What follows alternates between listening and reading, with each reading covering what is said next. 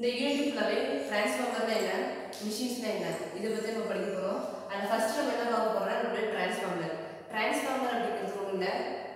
இப்போது நான் ஒரு டிரான்ஸ்ஃபர் அப்படின்னா ரிசீவர் கிட்ட நான் என்ன மெசேஜ் கொடுக்குறனோ அது அப்படியே ரிசீவர் கிட்ட போய் சேர்ந்துடணும். அதுக்கு பேர் தான் டிரான்ஸ்ஃபார்மர் இப்போது ஒரு சிம்பிள் சர்க்கிள் வச்சு நான் சொல்லணும்னா ஒரு சர்க்கிளுக்கு ஒரு ஃப்ரீக்வன்சி ரேஞ்ச் வந்துட்டு ஒரு ஃபைவ் ஹெட்ஸில் நான் கொடுக்குறேன். அப்படின்னா அப்போ ஒரு சர்க்கிள்லேருந்து இன்னொரு சர்க்யூட்டுக்கு அந்த ஃபைவ் ஹெட்ஸ் என்னுடைய என்னோட ஃப்ரீக்வன்சி போகணும். அப்படி போனால் தான் என்னுடைய டிரான்ஸ்ஃபார்மர் கரெக்டாக ரன் நடத்தும். அர்த்தம் அதாவது நான் எவ்வளோ சிக்னல் நான் கொடுக்குறேன் இந்த டைம் பீரியடில் தான் போகணும் இந்த ஃப்ரீக்வன்சி ரேஞ்சில் தான் போகணும் அப்படின்னு டிரான்ஸ்ஃபர் செட் பண்ணிட்டாங்க அப்படின்னா அதே சேம் என்னுடைய ரிசீவரும் அதே டைம் பீரியடு சேம் அதே ஃப்ரீக்வன்சி ரேஞ்சு தான் அவங்களுக்கு அக்செப்ட் ஆகும். இதுக்கு தான் டிரான்ஸ்ஃபார்மர் இந்த டிரான்ஸ்ஃபார்மர் அப்படிங்கிறது ஒரு எலக்ட்ரோ மேக்னட்டிக் இண்டக்ஷன் அந்த பிரின்சிபல் படி தான் ரன் ஆகுது. என்னது எலக்ட்ரோ மேக்னெட்டிக் இண்டக்ஷன் அப்படின்னு ஒன்றும் ஒரு சர்க்யூட்டில் பிரைம் இப்போ பார்த்தோம் அப்படின்னா ஒரு சர்க்கியூட் இருந்தால் அப்படின்னா இந்த வைண்டிங் அதாவது என்னோட பிரைமரி வைண்டிங் செகண்டரி வைண்டிங் அப்படின்னு சொல்லிட்டு இருக்கும். அப்போது இதில் பார்த்தீங்க அப்படின்னா நிறைய கோடு போட்டிருப்போம் ஏன் அப்படின்னா இந்த பிரைமரி வைண்டிங்கில் எவ்வளோ கோடு போகுது செகண்டரி வைண்டிங்கில் எவ்வளோ கோடு போகுது. அப்போ என்னுடைய பிரைமரி வைண்டிங்கில் நான் ஒவ்வொரு காயம் கொடுக்குறேன் அப்படின்னா இது வந்து மேலே ஒரு லேமினேஷன் கவராக கவர் ஆகிருக்கும் அப்போது அந்த லேமினேஷன் அப்படிங்கிறது நான் ஒரு மேக்னெட்டிக் ஃப்ளக்ஸ் மூலிமா கவர் பண்ணியிருப்பேன். அப்போது இந்த மேக்னெட்டிக் ஃப்ளக்ஸ் மூலிமா இந்த செகண்டரிக்கு எனக்கு கரண்ட் போகுமா? கண்டிப்பாக போகும். ஏன்னா என்னுடைய பிரைமரி வைண்டிங்கில் பொதுவாகவே ஒரு காயிலை பொறுத்த வரைக்கும் காயில் நான் எந்த அளவுக்கு கரண்ட் ஃப்ளோ ஆகுதோ அது மேலே மேக்னெட்டிக் ஃப்ளக்ஸ் மூலிமா முடிவு அந்த ஃப்ளக்ஸ் மூலியமாகவே எனக்கு அந்த செகண்டரி வைண்டிங் அதாவது மற்ற ஒரு காயிலுக்கும் கரண்ட் ஃப்ளோ ஆகும். இப்போ பார்த்தீங்கன்னா டிரான்ஸ்ஃபார்மரில் ஒரு மூணு டைப் இருக்கும். ஒரு டிரான்ஸ்ஃபார்மர் எடுத்துகிட்டாலே அது பிரைமரி வைண்டிங் இருக்கும் செகண்டரி வைண்டிங் இருக்கும் அது லேமினேட்டட் ஆகிருக்கும் இப்போ பிரைமரி வைண்டிங் பிரைமரி வைண்டிங்னா ஒன்றும் இல்லை. அல்டர்னேட்டிவ் சப்ளை அல்டர்னேட்டிவ் சப்ளை அப்படிங்கிறது நார்மலாக நம்ம பேசிக்காக யூஸ் பண்ணுறது தான் ரெசிஸ்டர் கெப்பாசிட்டர் அதாவது நம்ம லோ ரேஞ்சில் யூஸ் பண்ணுறது எல்லாமே நம்மளுடைய பிரைமரி வைண்டிங்காக அச்சீவ் பண்ணிப்போம். அப்போது அது மட்டும்தான் நம்ம பிரைமரி வைண்டிங் கொடுக்க முடியுமா? அதாவது லோ வேல்யூவில் மட்டும்தான் கொடுக்க கண்டிப்பாக நம்ம ப்ரைமரி வைண்டிங் அதாவது அது அல்டர்னேட்டிவ் கரண்ட்டாக இருந்துச்சு அப்படின்னாலே அது நம்ம லோ சப்ளை தான் கொடுக்க முடியும். Next secondary winding secondary winding நம்ம எது எதெல்லாம் யூஸ் பண்ணுவோம் அப்படின்னு பார்த்தோன்னா எக்ஸாம்பிள் பார்த்தோம் அப்படின்னா ஃபேனு நம்ம வீட்டில் யூஸ் பண்ணுற ஃபேன் ஃப்ரிட்ஜு ஏன் அப்படின்னா அது வந்து எலக்ட்ரிக் சப்ளை அதிகமாக இன்க்ரீஸ் ஆகும். அப்போது ப்ரைமரி வைண்டிங்கில் நம்ம கம்மியான சப்ளை கொடுத்தோம் அப்படின்னா அது நல்லாகும் இதுவே செகண்டரி வைண்டிங்கை பொறுத்த வரைக்கும் நமக்கு அதிக பவர் நம்ம கொடுக்கும். அதிக பவர் கொடுக்குறது அப்படின்னா நம்ம வீட்டில் யூஸ் பண்ணிட்டு இருக்க ஃபேனு மிக்சி கிரைண்டர் ஃப்ரிட்ஜ் இது போல தான் யூஸ் பண்ணியிருக்கோம் நெக்ஸ்ட் என்னன்னா laminated iron core laminated iron core அப்படிங்கிறது இப்போ நான் சொன்னேன் இல்லையா ஒரு காயில் இப்படி போயிட்டுருக்கு அப்படின்னா இந்த காயிலில் ஒரு கரண்ட் ஃப்ளோ ஆகும். அப்போ இந்த கரண்ட்டில் நான் ஒரு லேமினேட் பண்ணியிருப்பேன் அப்போது நெக்ஸ்ட்டு இங்கே ஒரு காயில் இது கண்டிப்பாக இருக்கும். அப்போ இதில் இருக்கிற கரண்ட் இதுக்கு ஃப்ளோ ஆகும் அப்படின்னு பார்த்தோன்னா கண்டிப்பாக ஃப்ளோ ஆகும். ஏன் அப்படின்னா இந்த லேமினேஷன் மூலிமா அடுத்த காய்க்கும் நமக்கு கரண்ட் ஃப்ளோ ஆகும். நம்ம லேமினேட் பண்ணாமல் வச்சுருக்கோம் அப்படின்னா கரண்ட் போகுமா? அப்- அப்படி போகிறத விட நம்ம லேமினேட் பண்ணியிருக்கோம் அதாவது மேக்னெட்டிக் ஃப்ளக்ஸ் மூலிமா நம்ம லேமினேட் பண்ணணும் அப்படின்னா கண்டிப்பாக இங்கே கரண்ட் ஃப்ளோ நடக்கும். இது வந்து இப்போது டிரான்ஸ்ஃபார்மர்ல ஒரு சர்க்கு டயக்ராம் வந்திருக்கும். அதான் டிரான்ஸ்ஃபார்மர்னா இவ்வளோதான் ஒரு பிரைமரி வைண்டிங் கொடுத்துருக்குறேன் நெக்ஸ்ட் ஒரு செகண்டரி வைண்டிங் கொடுத்துருக்குறேன் அண்ட் லேமினேட்டட் கோடு இதோட ஒர்க்கிங் பிரின்சிபல் எப்படி பார்த்தோன்னா இப்போ நான் ஃபஸ்ட்டு சொன்னதா பிரைமரி வைண்டிங் பிரைமரி வைண்டிங் அப்படிங்கிறது என்ன சொன்ன என்னுடைய அல்டர்னேட்டிவ் கரண்ட் அப்போ இந்த அல்டர்னேட்டிவ் கரண்ட் அப்படிங்கிறது ஒரு ரெசிஸ்டர் கெப்பாசிட்டர் சொன்னியா என்னுடைய லோ வோல்டேஜ் மூலிமா நான் எப்படி கொடுத்துருக்குறேன்? அப்படிங்கிறது தான் அந்த அல்டர்னேட்டிவ் கரண்ட்டை வச்சு இந்த பிரைமரி வைண்டிங்கை நான் ரெண்டாக வெட்டுவேன். அதாவது இதை நான் இந்த அல்டர்னேட்டிவ் கொடுக்குறப்போ இந்த பிரைமரி வைண்டிங் என்ன எனக்கு ரெண்டாக வெட்டப்படும். அப்போ ரெண்டாக வெட்டப்படுச்சு அப்படின்னா அதில் ஒரு பிரின்சிபல் ஒன்று கிரியேட் ஆகும். என்ன பிரின்சிபல் செல்ஃப் இண்டெக்ஷன்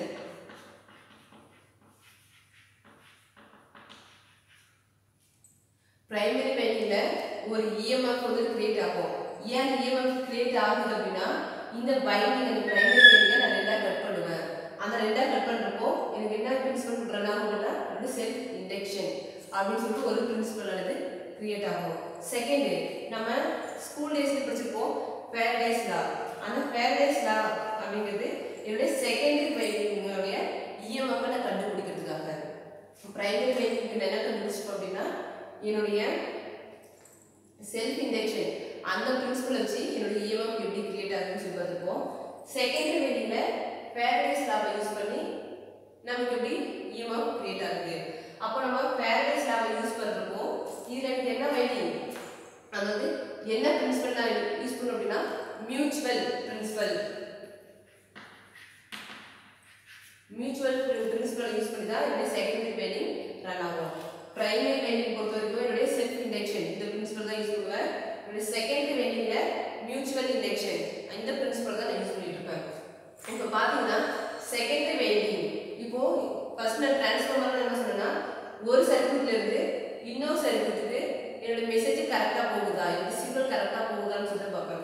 இப்போ என்னுடைய செகண்டரி வைண்டிங்ல ஒரு லோடு நான் கொடுத்துட்றேன். ஏதோ ரேஞ்சில் இதில் நான் லோடு கொடுக்குறேன் அப்படின்னா இந்த லோடு வந்துட்டு பிரைமரி வைண்டிங்க்கு எடுத்து போகுமா? கண்டிப்பாக எடுத்து போகும். ஏன்னா என்னுடைய சிக்னல் ஒரு இடத்துல இருந்து இன்னொரு இடத்துக்கு எப்படி மூவ் ஆகுது அப்படிங்கிறத செக் பண்ணுறதுக்கு தான். ஓகேங்களா? அப்போ இதுல நான் அதிகமாக லோடு கொடுத்துருக்குறேன். அந்த லோடு இந்த பிரைமரி வைண்டிங்க்கு போகுறப்போ ஒரு கரண்ட் எடுத்து கிரியேட் ஆகும். ஏன் அப்படின்னா நம்ம அதிகமாக கரண்ட் கொடுத்தா மட்டும் தான் போகுமா? அதாவது அதிகமாக லோடு கொடுத்தா தான் போகுமா அப்படி இல்லை. ஒரு இடத்துலேருந்து ஒரு இடத்துக்கு மூவ் ஆகிறப்பவே ஏதோ ஒரு கரண்ட்டு நமக்கு ஃப்ளோ ஆகும். அதை பேஸ் பண்ணி தான் இருக்கு இந்த பிரின்சிபல் யூஸ் பண்ணி there டூ டைப்ஸ் நம்ம டிரான்ஸ்ஃபார்மர் இருக்கு என்னென்ன டைப் அப்படின்னு பார்த்தோம்னா step up transformer and step down transformer step up transformer அப்படின்னா உங்கள்கிட்ட இன்க்ரீஸ் ஆகுது அதாவது நம்ம பிரைமரி வைண்டிங் இருக்கு நம்மளுடைய செகண்டரி வைண்டிங் இருக்கு.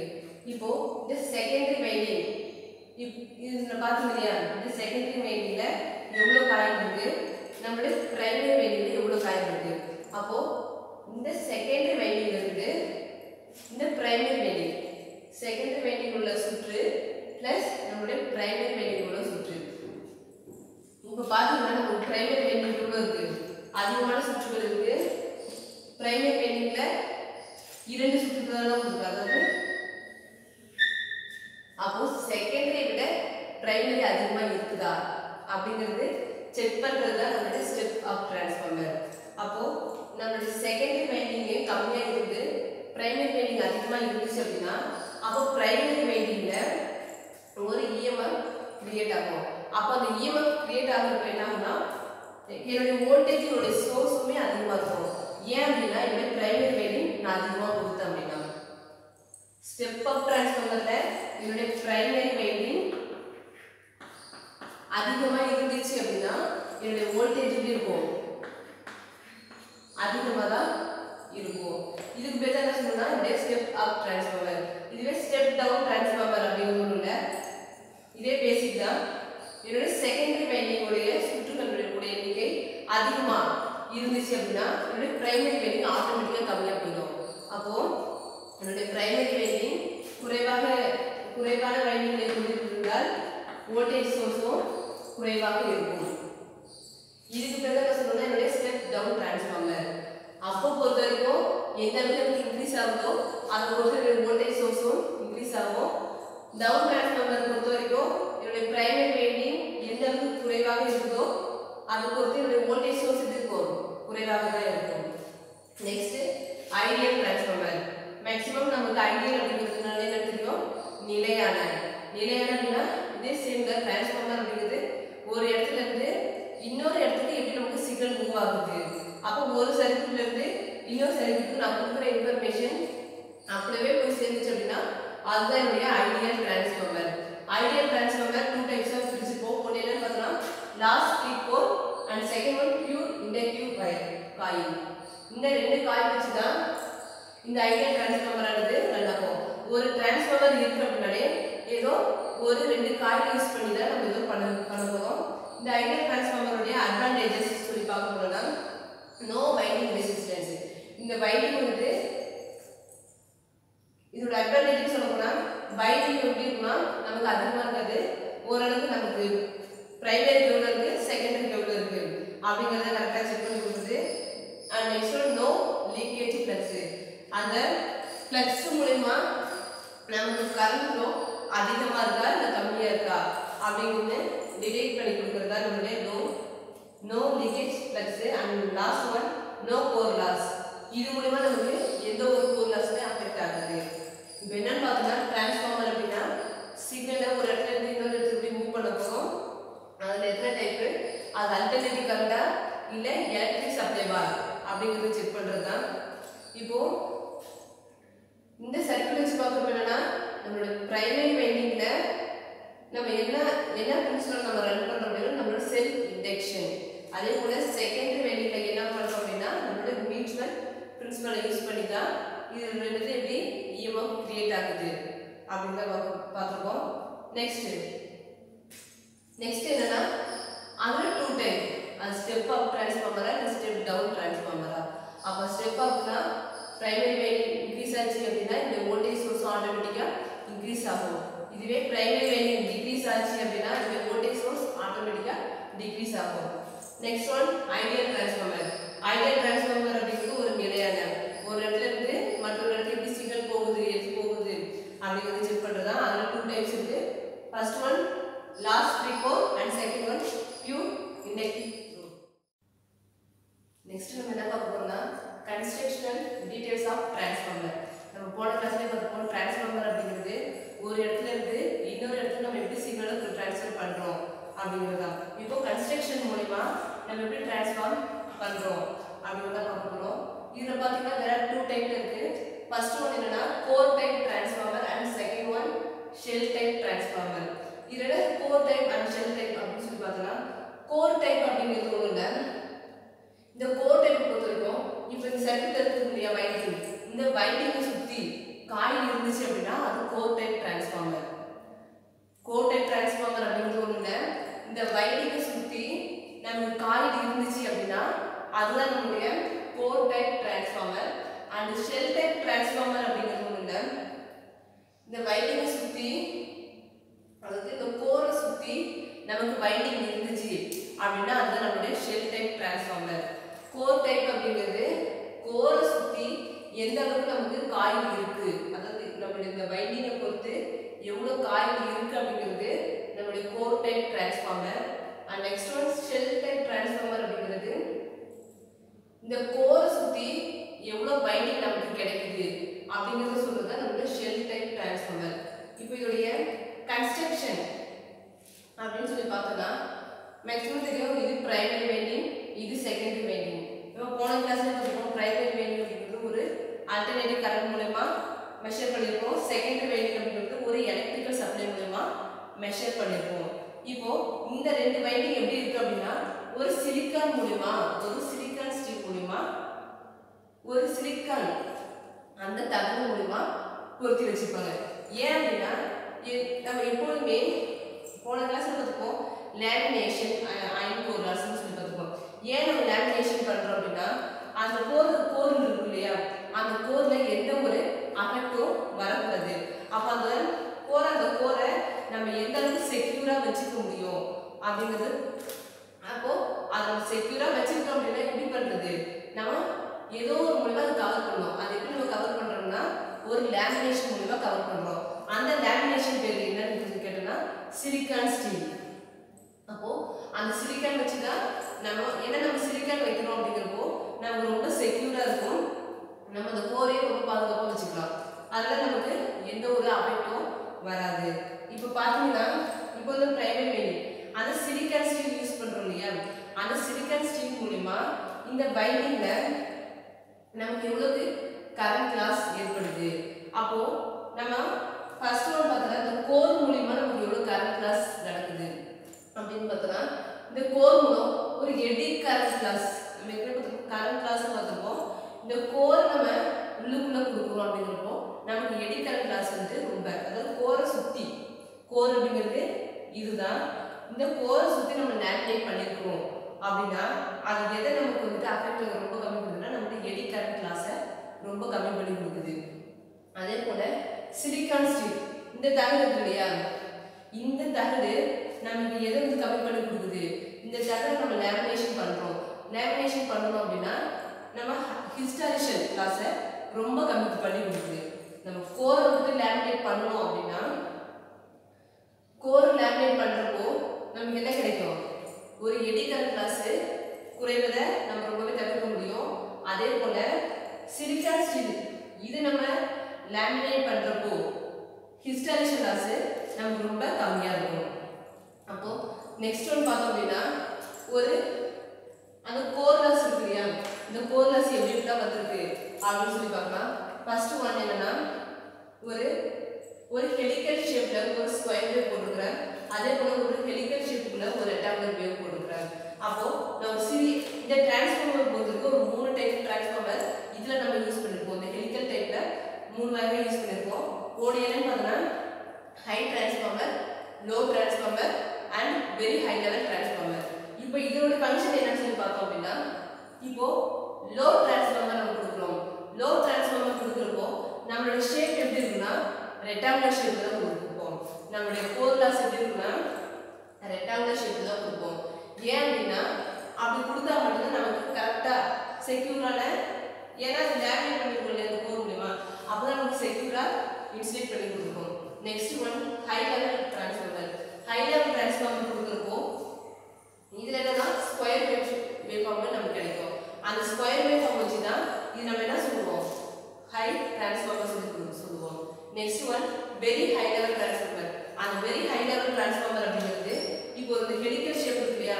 அப்போ டிரான்ஸ்ஃபார்மரை மேல இருந்து நம்ம கீழே பார்க்குவோம் அப்போ மேல இருந்து கீழே பார்க்குறப்போ நமக்கு ஒரு ஒரு விதமான கொஞ்சம் ஃப்ரீடம் இருந்தால் தானே ஏதோ ஒரு காற்றோட்டமான வசதி இருந்தால் தானே அந்த டிரான்ஸ்ஃபார்மருக்கு எந்த ஒரு பிரச்சனையும் வராது அப்போ மேலேருந்து நம்ம கீழே கொடுத்தோம் அப்படின்னா அந்த வரப்போ அதுக்குள்ள ஒரு காற்று நுழையிற அளவுக்கு ஒரு கேப் கேப் மேலே விட்டுணும் அப்படி விட்டால் மட்டும்தான் நமக்கு அந்த காயில எந்த ஒரு டிஸ்டார்ஷன் எந்த ஒரு நாய்ஸுமே நமக்கு அஃபெக்ட் ஆகாது அப்போ வெரி ஹை லெவல் டிரான்ஸ்ஃபார்மர் ரொம்ப அக்யூரேட்டாக ரன் இப்போ இப்போ பார்த்தீங்கன்னா ஃபோர் டைப் டிரான்ஸ்ஃபார்மர் இது ஃபர்ஸ்ட் பார்த்தோம் இல்லையா?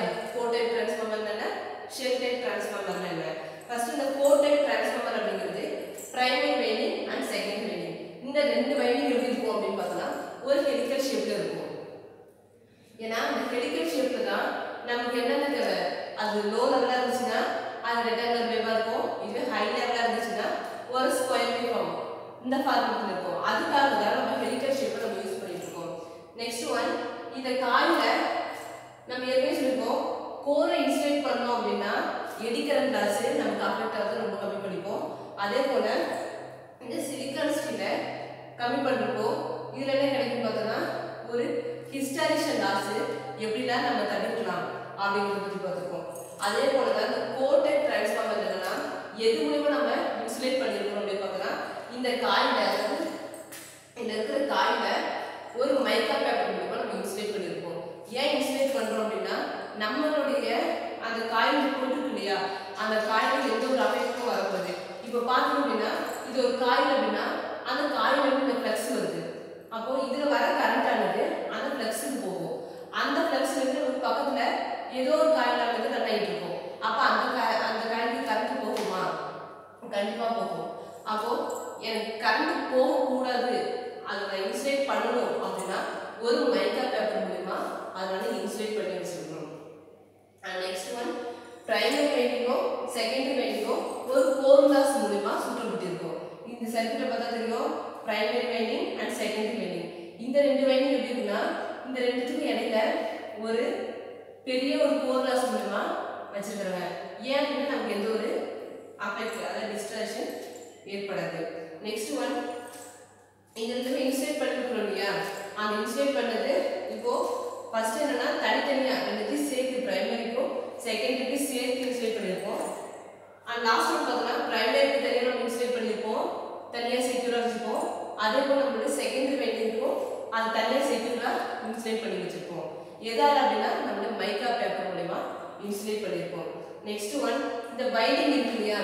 இந்த வைண்டிங்ல நம்ம கோர் கொடுக்குறேன். எனக்கு கோர் வந்துட்டு இந்த வைண்டிங்ல சுற்றி வருது. அப்படின்னா எனக்கு லோ வோல்டேஜ் தான் எனக்கு கிடைக்கும். ஏன் அப்படின்னா வைண்டிங்ல கோர் வரப்போ இல்லை ஏதோ ஒரு அளவுக்கு வந்து கரண்ட் ஆனது ரன் ஆகிட்டு இருக்கும். அப்போ ரன் ஆகிறப்போ அதோட வோல்டேஜ் இது இருக்கும். ரொம்ப லோவாக இருக்கும்.